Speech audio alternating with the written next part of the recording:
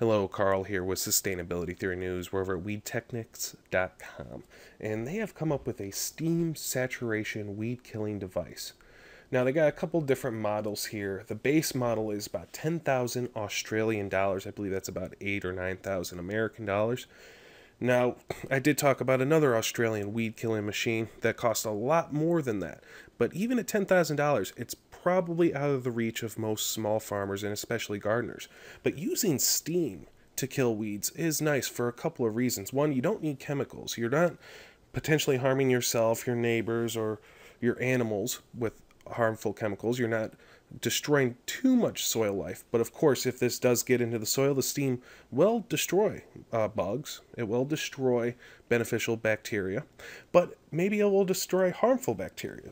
For example, maybe your tomato plants had a case of blight, but you want to plant more tomato plants in that same spot next year. Well, bring in the steamer, kill the tomato plants and kill all the blight spores with the steam, then turn over the plot maybe maybe steam the soil and then re-inoculate it with some beneficial fungus and uh, bacteria.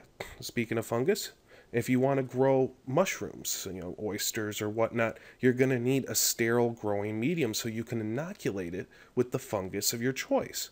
So to kill all the stray fungal spores and yeast spores, Maybe use this steam gun to sterilize the medium. Maybe you need to sterilize your growing pots for a nursery business. There are any number of uses where a steam generator could be handy on the farm. Maybe you don't have $10,000 to shill out one of these self contained units. Maybe you can manufacture one. If anyone knows of one that's in existence that can be cobbled together with some off the shelf parts, please leave it in the comments below. I'd be happy to look at it and I'm going to be looking into doing something similar for myself. If you have any other suggestions, please leave in the comments below. I'm going to link to this page in the description if you'd like to read more about this interesting device. And if you'd like to see more news headlines like this, subscribe to my channel. Have a great day.